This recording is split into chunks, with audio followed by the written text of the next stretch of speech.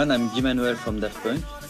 I don't want to be just alone to talk about sex. That's why I asked Guy Manuel from Daft Punk to produce the record because for me, when we talk about sex, uh, you need to be two person minimum.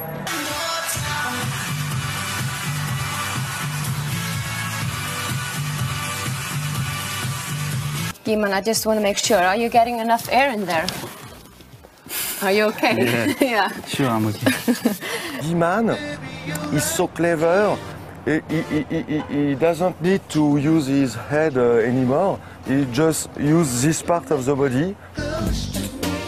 You know, like the, the rhythm of Daft Punk that talk at this part of the body. And so that's why I asked to Guy-Man because Guy-Man, I was the, the, the, the, the brain, the head, and uh, Guy-Man was uh, the Is it never strange for you to do interviews with these bags on your heads? It's, it's really strange. It's very. It's the- it's the the- first it's the time. first time. And, uh, and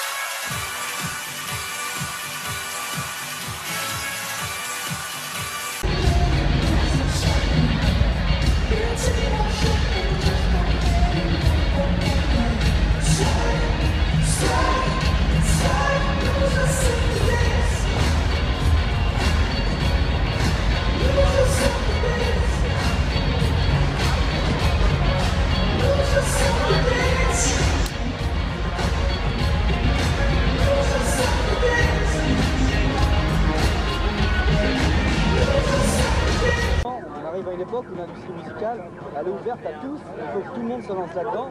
Parce qu'on a trop eu l'habitude d'avoir des, des, pro- des produits, des produits finis de merde qui nous cassent les couilles, mais pas pour longtemps. Are, even if there's some barriers and some language and uh, culture barriers, I think the people here are very friendly and very, very nice people. So it's every time we come, it's getting even more. Uh, happened. He says he can't remember the recording session. He cannot. He cannot. What yeah. happened? Well, it was jet lag. He gave him something to drink or something. No, he cannot. No, it's funny. He had, brought his, he brought his drinks. He brought his drinks. Yeah, his liquor. He has a yeah, liquor. he that- had a liquor that Yeah. he brought. Yeah, which is the which is the liquor. The liquor. He, his own brand. Yeah.